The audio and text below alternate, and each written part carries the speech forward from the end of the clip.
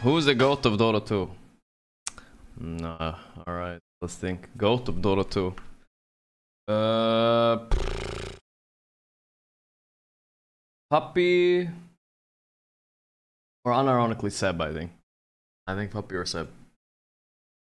In my opinion. The Greatest of all time. How can you not say Miracle? Definitely a Miracle fan. Ah, think the greatest Mir- player of Okay, Dota wait, wait. prob- Uh, that's more like achievement-wise. Skill-wise, it's different, right? I was, I was just going by achievements. Skill-wise, okay, I'll, I'll go with Miracle too. It's fine. Probably Ceb. Yeah, Ceb, he Maybe. Miracle. Just considering about how good he was to the to his prime. Uh, Miracle. Uh, Miracle. Miracle. Gotta say Miracle. I mean, Uh, achievement-wise, without Miracle the- is not. Is Kilo Well, I was included? going just achievement.